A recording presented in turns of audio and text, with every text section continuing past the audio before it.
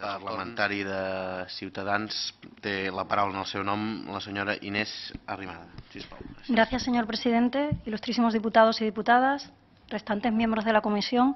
Antes de nada, quiero agradecer personalmente la comparecencia del honorable señor conseller, del secretario general de Empresa y Ocupación, de la secretaria de Ocupación y Relaciones Laboral. Hoy en la comisión hemos hablado de temas que son de gran interés para el empleo y para el empleo eh, especialmente de la, de la gente joven de Cataluña. No me quiero extender en repetir una serie de cifras de, paro juvenil que se, han, que se han dicho hoy. Solo podemos resaltar unas cuantas, como que el año 2011 se cerró con un récord de parados jóvenes de menores de 25 años en Cataluña, alcanzando más de 146.000 personas en, en, el paro, lo que supone casi un 50% de, de desempleo. Perdón, otro dato curioso sería que en el cuarto trimestre del año 2011, mientras que en el resto de España se disminuyó en 1,3% el paro juvenil, en Cataluña se ha aumentado en otras 1.500 personas más. Pero teniendo claro la situación actual, que es nefasta, lo que debemos centrarnos es en cuáles son las medidas que se pueden poner eh, en marcha para, para, solucionarlo o para mejorarlo. No podemos hablar de empleo juvenil sin hablar de otra serie de cuestiones que están íntimamente relacionadas, como son la intermediación laboral, la formación o las políticas activas de empleo. Por eso, desde Ciudadanos queremos poner de manifiesto concretamente tres cuestiones, porque tenemos limitaciones de tiempo, que nos parecen fundamentales para la incorporación de los jóvenes al mercado laboral. Estos tres temas serían la reforma del Servicio de Ocupación de Cataluña, del SOC, el modelo de gestión de la formación en las políticas activas de empleo y la reforma universitaria. En primer lugar, re respecto a la reforma del SOC, hay que poner de manifiesto que es una, una, reforma que tiene carácter urgente.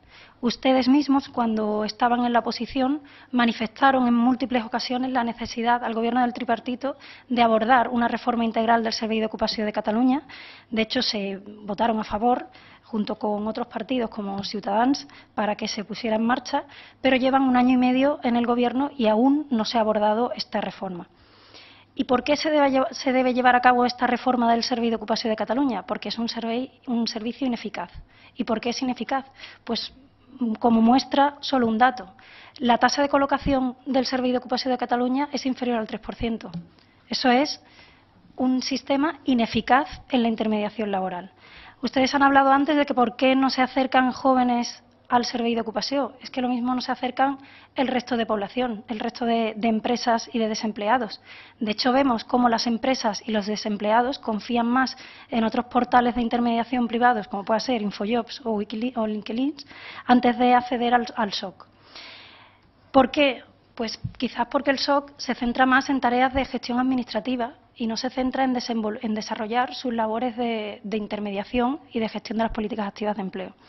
Esto es intolerable, puesto que el SOC es el Servicio Público de Empleo de Cataluña, tiene un coste muy elevado, tiene una estructura territorial muy amplia y muy extensa, que eso por supuesto es positivo, pero cuesta mucho dinero a los catalanes. Y por tanto los catalanes y la gente que vive en Cataluña exige que eso tenga un impacto positivo. Esta reforma integral debería abordar diferentes aspectos que son fundamentales. Uno, que ya se ha comentado aquí por parte de la, de la señora secretaria de Empleo, es la colaboración público-privada en diferentes aspectos.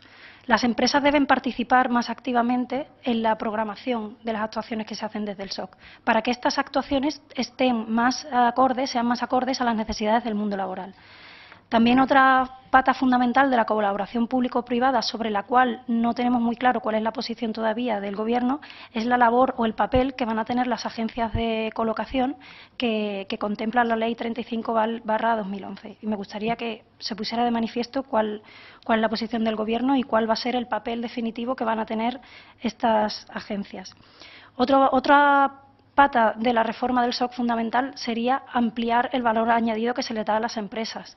La intermediación es bidireccional, es poner en relación a las empresas que quieren a trabajadores con personas desempleadas que quieren acceder a un puesto de trabajo. Por lo cual, por tanto, tiene que ser, mm, tiene que ser un servicio que preste servicios y preste valor añadido a ambas partes. Si las empresas no ven una gestión eficaz y no ven que acceden a perfiles profesionales adecuados, no accederán al Servicio de Ocupación de Cataluña para buscar a trabajadores, sino que se derivarán hacia otros portales o otros elementos privados que ya he nombrado para la búsqueda de, de, empleo. Y eso es también intolerable, porque debe existir y es bueno que exista un servicio público de intermediación laboral que sea eficaz, que sea ágil, que preste servicios también a las empresas.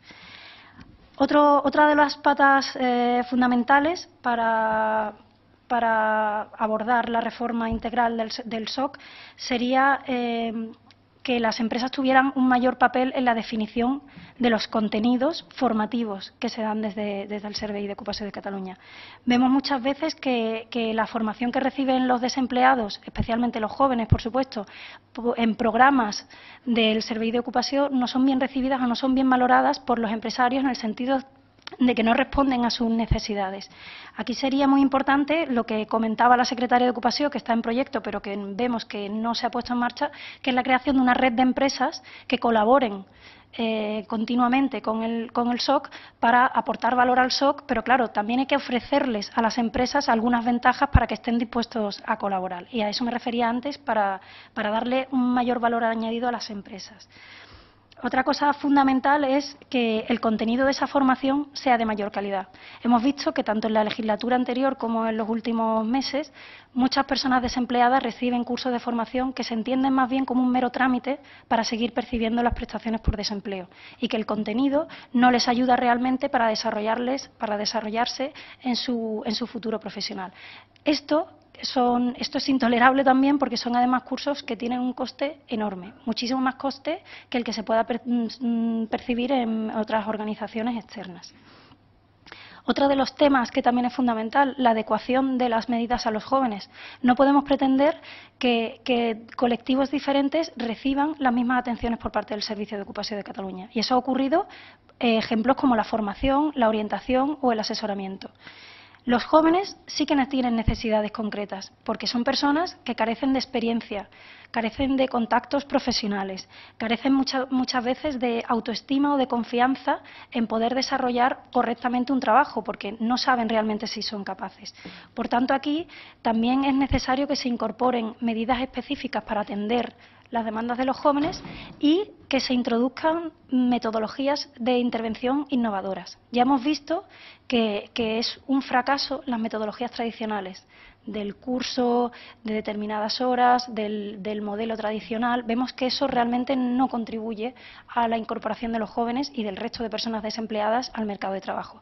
Por tanto, se deberían introducir otra serie de, metodologías y de formatos innovadores que trabajen el trabajo en equipo, que trabajen la tolerancia al trabajo bajo presión, que trabajen determinadas características psicológicas que muchas veces son fundamentales también para el acceso a un trabajo, no solo la, las formativas, etc. Y, en definitiva, que el SOC deje de ser un, un mero gestor administrativo y tome más las riendas de las políticas activas de empleo, que es lo que, le, lo que le corresponde, evitando algunos trámites administrativos que no añaden valor y que hacen percibir a la sociedad que trabajar con el SOC es farragoso y que prefieren muchas veces un servicio más ágiles de intermediación laboral. Sé que esa reforma no es fácil, Evidentemente, es un servicio público vital y no se puede acometer en dos días, pero ustedes ya llevan un año y medio en el Gobierno y creo que es hora para que de una vez por todas eh, se apruebe una nueva ley del, que regule el Servicio de Ocupación de Cataluña y en este sentido nos gustaría preguntar que, cuál es la agenda del Gobierno a la hora de aprobar esta nueva, esta nueva ley del Servicio de Ocupación de Cataluña, porque además creemos que es una competencia fundamental de Cataluña. Luego vemos al señor Mas que intenta regular aspectos que no corresponden a Cataluña, como es el mapa autonómico de España o el modelo de financiación, y sin embargo vemos que no mete mano, por decirlo coloquialmente, a un tema tan fundamental como el Servicio de Ocupación de Cataluña, que sí que es competencia fundamental de Cataluña, ya que es el mayor gestor de las políticas activas de empleo. El segundo de los temas que me gustaría comentarles es el modelo de gestión de la formación en las políticas activas de empleo en general. en los últimos años hemos visto que se han consolidado unos modelos paralelos. Hay un modelo gestionado por agentes sociales, por sindicatos y por asociaciones empresariales que gestionan unas cantidades millonarias para dar formación tanto a desempleados como a empleados y vemos además que este modelo se viene consolidando aún más con la reforma laboral que ha aprobado el, Gobierno central de, España. Muchas veces se ve que esta formación que gestionan estos agentes es, es de forma paralela, descoordinada y duplicada con la que se prestan por los servicios públicos.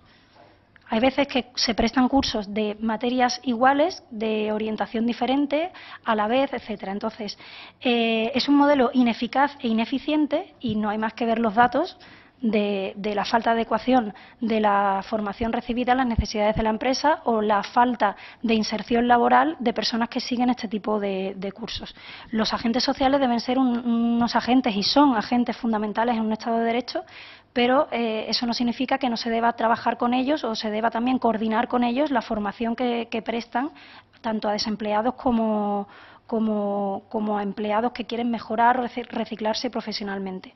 Por tanto, pedimos a la Consejería de Empleo un mayor protagonismo en la supervisión y en la coordinación de sus de sus materias formativas con aquellas que prestan los agentes sociales a través de la Fundación Tripartita, etcétera.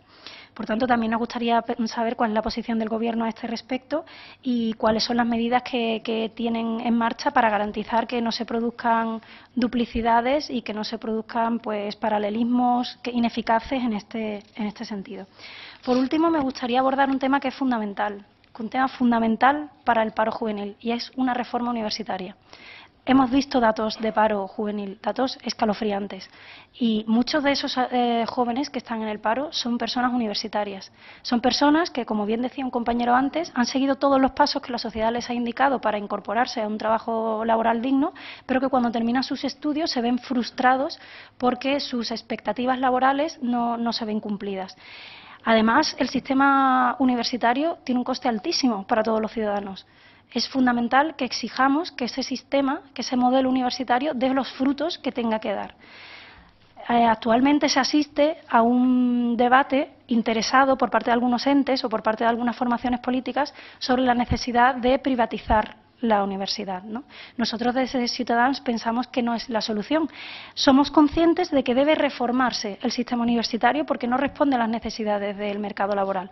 Vemos año tras año cómo salen miles de licenciados en algunas licenciaturas y ya termino, que, que, no tienen cabida en el mercado laboral. Eso también es culpa de una programación de formación universitaria. Es cierto que quizás podamos plantearnos diferentes cosas podamos reformar el sistema universitario. Pero el sistema universitario debe mm, abordarse desde, desde, la racionalidad, desde el sentido común, para, para mejorar su eficiencia fundamental, su utilidad social y su adecuación al mercado de trabajo. Ante este problema tenemos dos líneas posibles para solucionarlo. Una es la que parece que ustedes abogan o que gobiernos afines al suyo aboga, que es el de recortes recortar en investigación, recortar en financiación de las universidades, aumentar las tasas administrativas de las universidades, etcétera, etcétera, con el consiguiente, eh, con la consecuente desigualdad que eso genera. Y otra es la, la, solución de reformar, no recortar, sino reformar. Se puede ser valiente en la reforma de las universidades. Puede ser que no necesitemos facultades que presten la misma licenciatura a, pocos kilómetros de distancia.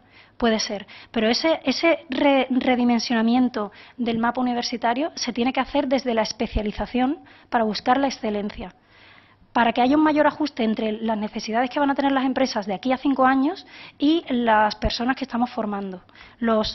el fin de la universidad, a nuestro entender, debe ser formar a profesionales con salida laboral. Pueden ser profesionales muy bien formados, pero si ese perfil no se requiere en el mercado laboral, hemos hecho una inversión, bueno, no, hemos hecho una inversión, hemos hecho un gasto.